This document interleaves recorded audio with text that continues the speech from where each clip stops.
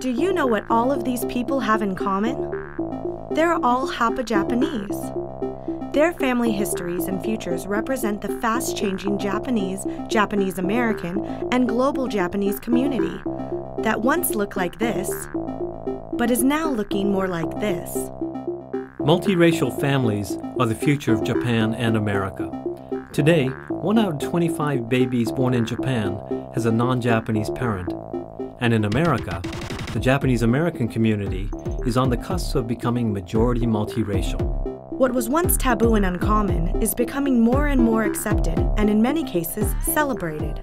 Coming this April, from the 2nd to the 6th, celebrate, educate, and appreciate what the Hapa Japanese community represents by joining us at the Hapa Japan Festival.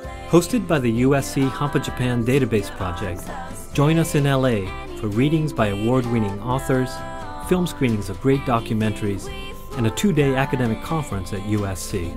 The festival will also feature artists from around the world, including musicians Kina Grannis, Justin Nozuka, and from Japan, Go, plus comedians KT Tatara, Anna Suzuki, Samantha Chanse, and Dan Nainan. Hapa Japan will also host the LA premiere of the film Hafu, as well as the opening to the exhibit Visible and Invisible, a Hapa Japanese American History at the Japanese American National Museum. Space is limited, so log on to hapajapan.com for more information on how to get your free ticket. Also, check out our Indiegogo campaign to keep this a free event. この4月、ロスで会いましょう。See you in LA this April.